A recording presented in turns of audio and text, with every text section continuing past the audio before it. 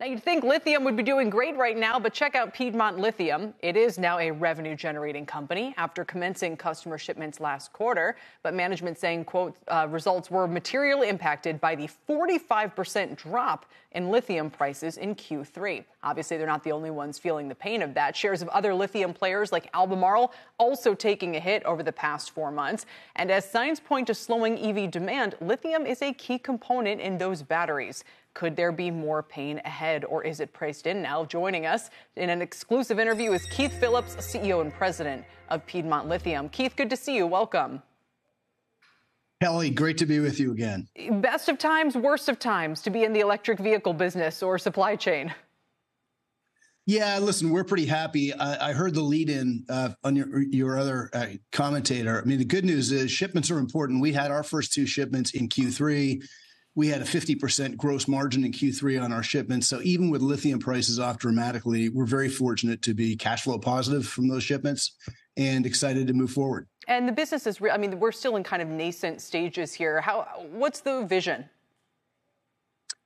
Listen, I would say the whole lithium thematic is in the third inning, maybe uh, of a nine inning game. The EV and lithium thematic, it's it's been lumpy. We've been up and down as an industry. EV EV sales, EV demand, lithium prices we're in a point where lithium prices are actually off probably 75% from their peak. Wow. But they're still at a level where companies like us can be profitable. Uh, uh, but we're very big believers in the thematic. I mean, we think EV demand is at all time highs, up 38% this year, up 40% in the US. Uh, we think you're going to see just you, given what's going on in the economy with higher rates, uh, capital cost inflation in projects. I think you'll see some of the battery and EV plants delayed a little bit by the big providers, but they're going to come. I think it's an unstoppable trend, uh, and we want to be a big participant in that. You know, watching commodity markets over the past 15 years or so, it it strikes me how volatile and overall, generally how un unmoved in the long run commodity prices themselves are and then the businesses their fortunes kind of rise or fall on their own productivity. I guess uh, maybe there's a better word to choose there. Um, but explain how, you know, wherever the price of lithium fluctuates going forward, what do you really think is the key component to delivering a solid return for investors who might be getting involved with your company at this stage? Well, you need to own high quality assets that are low cost producers in their business. So we have uh, an asset in, in Quebec. We're a joint venture partner with Sayona Mining. It's the biggest lithium producer in North America. We own 25% of that project. We're also the biggest customer of that project. We buy 50% or more of the material, and we buy that on terms that enable us to be quite profitable. So we're very very happy with that. Our other assets, similarly, Ghana will be uh, there's a spodumene project we're developing with a partner in Ghana that will be a very low cost producer, and then we believe our downstream projects in Tennessee and North Carolina will be world class, and being based in the southeast will be very very competitive. So in a commodity business.